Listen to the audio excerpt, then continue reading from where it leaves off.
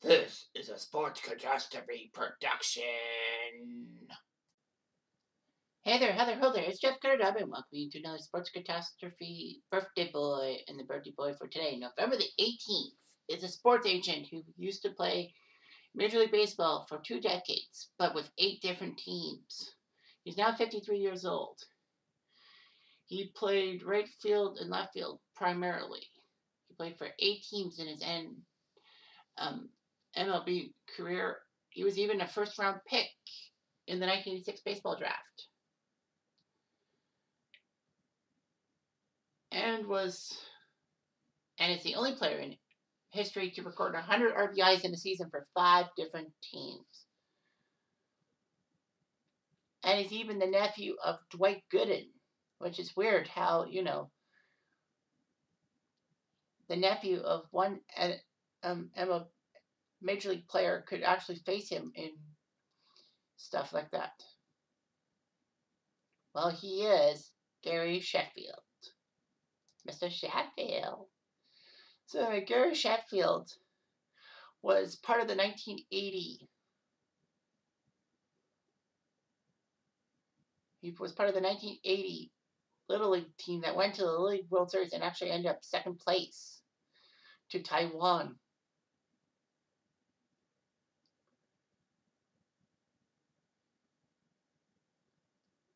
Anyway, Sheffield was huge in prep school. He would be drafted with the sixth pick of the 1986 MLB draft.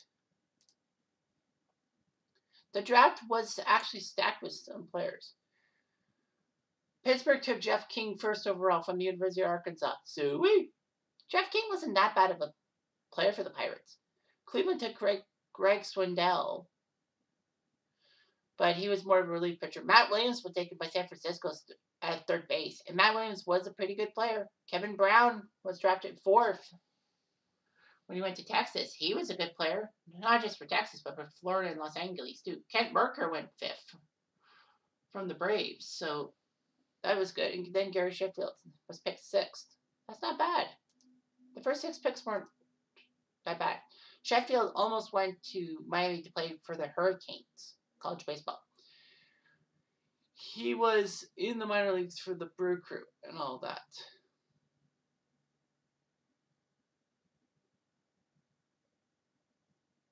He wanted to play shortstop. He he was moved to third base. Bill Spiers was, you know, the shortstop. Sheffield was moved to third base, and he, well, Sheffield criticized the team saying there was a black and white issue. Anyway, he wasn't that good until Don Baylor was made hitting coach of the Brewers, and then he started hitting better. All that. Sheffield wanted to play shortstop. It was angry Bill Spiers was playing shortstop. He kept thinking the Brewers organization was racist.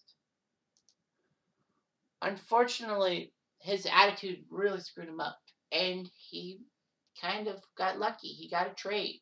The Brewers decided to trade him to San Diego for Ricky Bones, Jose Valentin, and Matt Mieske.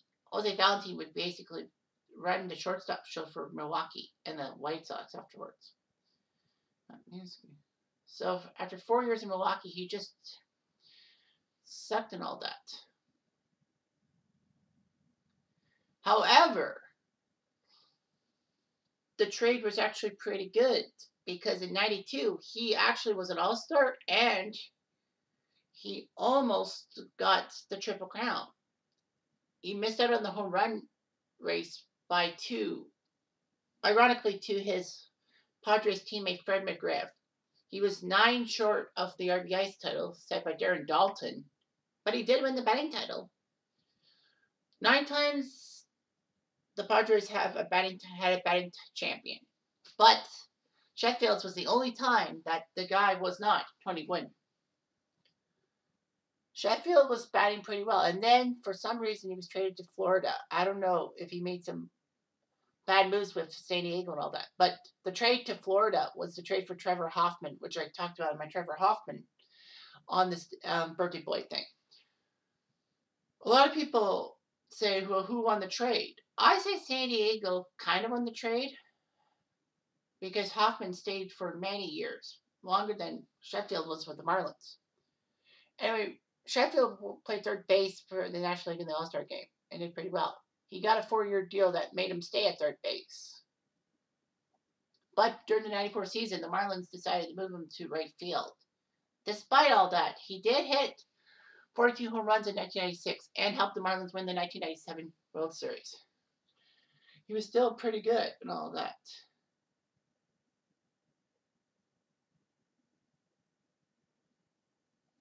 Unfortunately, Sheffield was traded away by the Marlins in 98. Kind of one of the big bits of the whole fire sale the Marlins had. They won the World Series in 97 and then they couldn't pay their players. All that. The Marlins allegedly could not afford a contract extension. So the Marlins traded him alongside Charles Johnson, Bobby Bonilla, Jim Eisenreich, members of the 97 squad that did pretty good, to the Dodgers for Mike Piazza and Todd Zeile. Zeile would play lots of with lots of teams still too, more than Sheffield. And Mike Piazza was traded to the Marlins for eight days, and then Piazza was shipped off to the Mets. So anyway, Sheffield did okay. And he stayed for three and a half years with the Dodgers, hitting 129 home runs, 367 RBIs. He was a pretty good outfielder. Unfortunately, he was not happy with the organization because the Dodgers were spending their money stupidly and sliding in the wrong direction. He got his wish January 2002. He was traded to the Atlanta Braves for Brian Jordan and a pair of nobodies. He would spend two years with the Braves doing pretty well for himself and became a free agent at the end of the 2003 season. He signed a three-year, $39 million deal with the New York Yankees. Of course he did. So he would join the line, the Yankee lineup, and it would be huge and all that. Sheffield did pretty well in his first year as a Blue Jay, hitting 290 with 36 home runs, 121 RBIs. And guys, 400 home run off of Michael Nakamura of the Blue Jays. The Blue Jays had a guy named Michael Nakamura? Huh. Anyway, he took second in MVP voting behind Vladdy Guerrero, who was in his first season with the Angels. He still hit pretty well. Unfortunately, Sheffield had an injury rule in 2006 and couldn't come back till late September and lost his right field job to Bobby Abreu. Sheffield would play first base for a while, and the Yankees decided to pick up Sheffield's option and, trade him to the Tigers for three minor leaguers. Sheffield signed a two-year deal with the Tigers and did pretty well for himself. In the 2007 season, he stole 20 bases for the first time since 1990. And also had 20 home runs, so he had a 2020 season. One of six batters in the AL to do that. Sheffield allegedly hit the 250,000 250,000th regular season home run in Major League history, including the baseballreference.com. Sheffield ended the 2008 season with 499 home runs in his career. It's like, what the hell? It's like, well, when will he get to 500? But the Tigers decided to release him before the 2009 season. It's like, what the hell? They wanted more Kelly with a DH position. Like, the guy, you couldn't just get rid of him after his 500 home run. Anyway, Sheffield decided to sign with the Mets. And two weeks after that, he hit his 500 home run against the Brew Crew, becoming the 25th player in MLB history to do so. The first as a pinch hitter when he got a 500 home run as a pinch hitter, and the first to do so in a Mets uniform. He would actually be the third player in Major League history, joining Ty Cobb and Rusty Staub, some of players who hit home runs before the age of 20 and after the age of 40. Although Alex Rodriguez would do so as well. Sheffield decided to retire. But he won the National League batting crown in 92 he won the World Series in 97, so he was a superstar in a sense. You know, went to the 1980 Little League World Series, which was nice. Um, he tied Paul O'Neill for the oldest player to hit 20 home runs and steal 20 bases in a season at age 38 in 2007. First player to hit 25 home runs for six teams. Holds the record for most MLB parks played in 51. It's pretty good. He's not in the Hall of Fame. He got eligible in 2015 after retire, er, well, five years after his retirement. His support now up to 40.6% as of 2021. So, well, that was the seventh time out. Maybe you might do it. All that.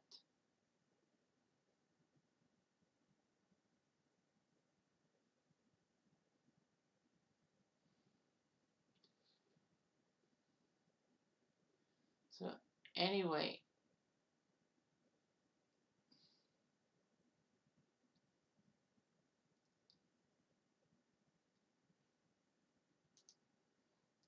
Sheffield had a lot of issues, especially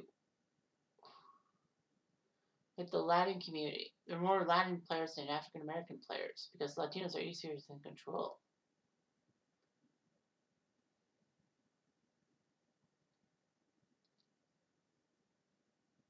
And Sheffield even said that Torre, Joe Torre, when he was with the Yankees, would treat black players differently than white players, which is wrong.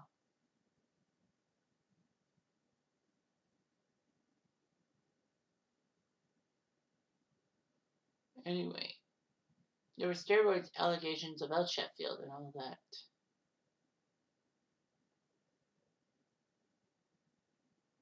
So Sheffield has three sons with his his wife. Well, his current wife. He has four other children from previous relationships.